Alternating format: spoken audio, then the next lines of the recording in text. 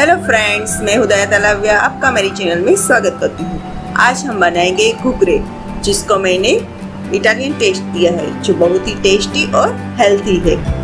इसके साथ मैंने सॉस की रेसिपी दी है, जो बहुत ही टंगी टेस्ट है।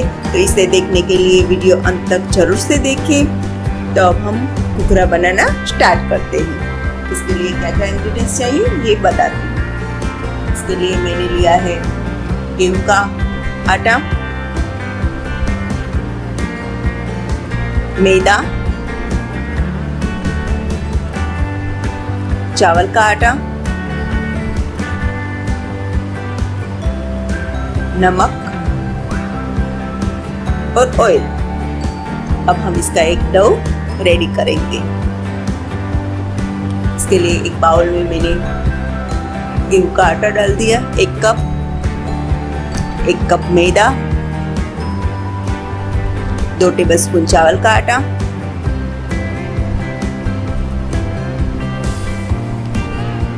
टेस्ट अनुसार नमक, और दो टेबलस्पून ऑयल सभी चीज़ों को अच्छी तरह से मिक्स करते हुए इसका हम सॉफ्ट डो रेडी करेंगे।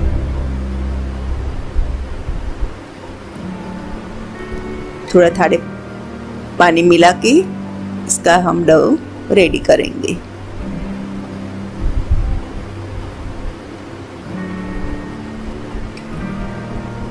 पराठे जैसा सॉफ्ट डो हमें रेडी करना है।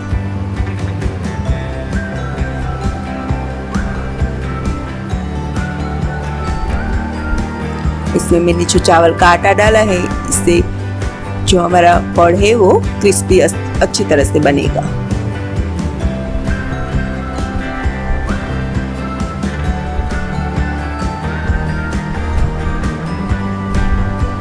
इसी तरह से आप रेडी डो हो जाए, तब इसे मसल लीजिए। इसे मसलते हुए डो को हम चिकना बनाएँगे। अब हम इसे ढक के रख देते हैं। और हम फिलिंग की सभी सामग्री देख लेते हैं। इसके लिए मैंने लिया है 500 ग्राम उबले हुए आलू, उबले हुए मटर, one cup one cup capsicum बारीक कटे हुए, अदरक, मिर्च और लहसुन की पेस्ट, दो बड़े टेबलस्पून चीज़ नमक ऑयल चिली फ्लेक्स और ऑरेगनो अब हम डो इसका फिलिंग बनाना स्टार्ट करते हैं। इसके लिए एक पैन में हम ऑयल डाल देंगे।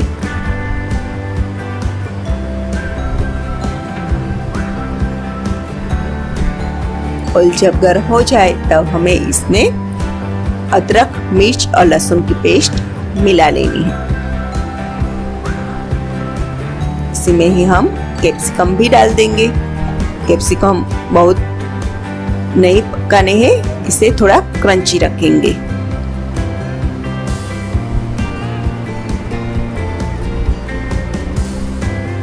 इसमें हम उबाले हुए मटर डालेंगे। ये ऑप्शनल है, यदि आपको मटर का टेस्ट नहीं पसंद तो आप ना डालें तो भी चलेगा।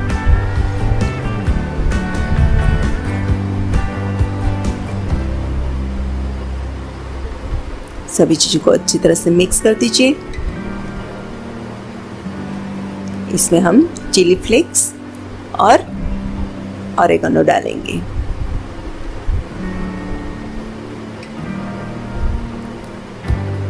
चिली फ्लेक्स और ऑरेगनो की स्मेल बहुत ही बढ़िया आ रही है। इसमें टेस्ट अनुसार नमक डाल दीजिए।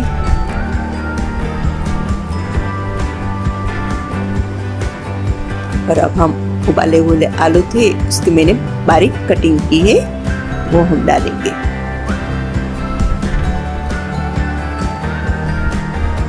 सभी चीज़ों को अच्छी तरह से मिला लीजिए। गैस की फ्लेम हमें धीमी ही रखनी है।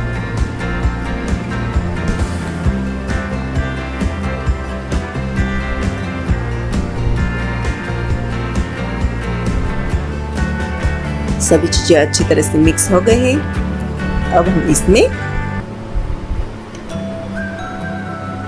चीज़ डालेंगे। चीज़ हमें लास्ट में डालना है। इसे भी मिश्रण में मिक्स कर लीजिए। तो हमारा फिलिंग रेडी हो गए हैं। इसे हम साइड पर रख देंगे। थोड़ा ठंडा हो जाने के बाद हम इसकी फिलिंग भरेंगे।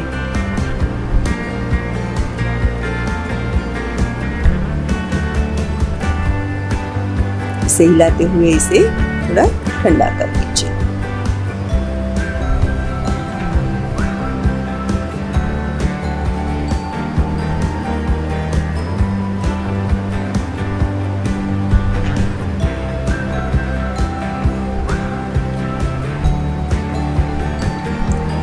हमारा डो भी बहुत ही अच्छी तरह से रेडी है। इस तरह हम छोटे छोटे लोहे बना लेंगे।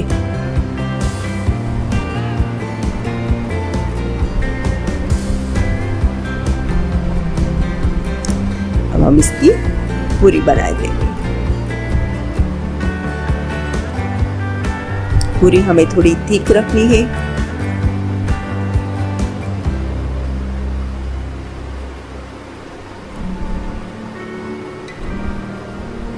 तरह से सारी पूरिया बना के रेडी कर लीजिए।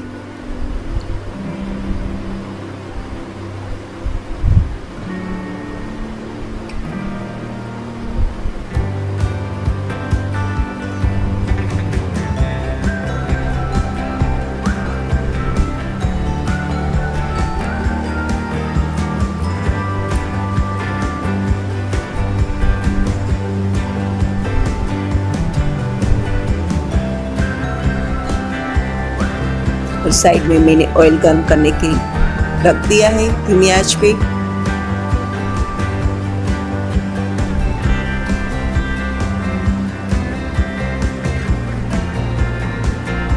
इस तरह से हाथों की मदद से आप थोड़ा गड्ढा बना लीजिए।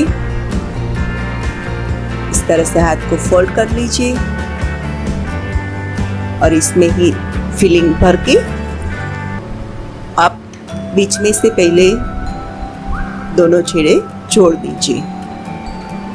इसी तरह से, अच्छी तरह से आप फोल्ड कीजिए।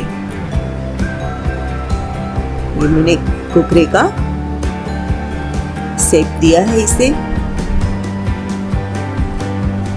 और हाथों की मदद से ही इसकी किनारियाँ छोड़ दी है यदि आपको इस किनारियाँ ना आए तो किस तरह से बनाना है, ये भी मैं बताती हूँ आपको।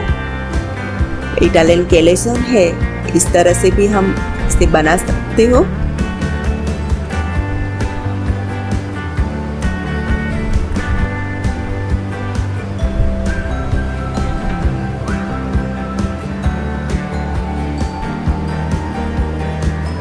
इसी तरह से फोक की मदद से आप इसकी डिज़ाइन तैयार कीजिए। जो किनारी है, उस पर हम डिज़ाइन कर देंगे।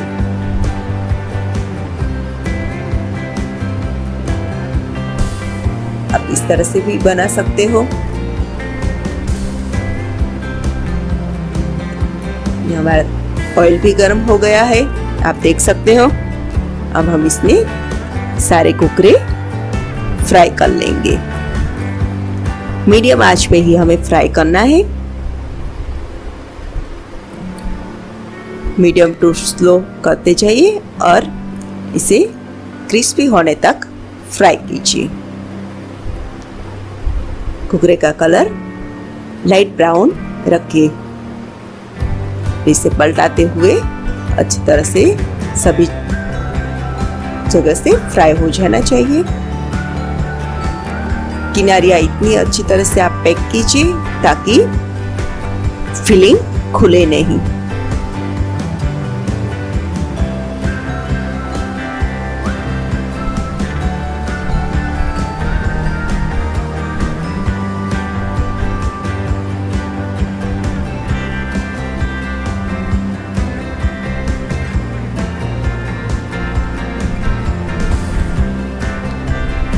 तो ये कुकरे खाने में बहुत ही टेस्टी है।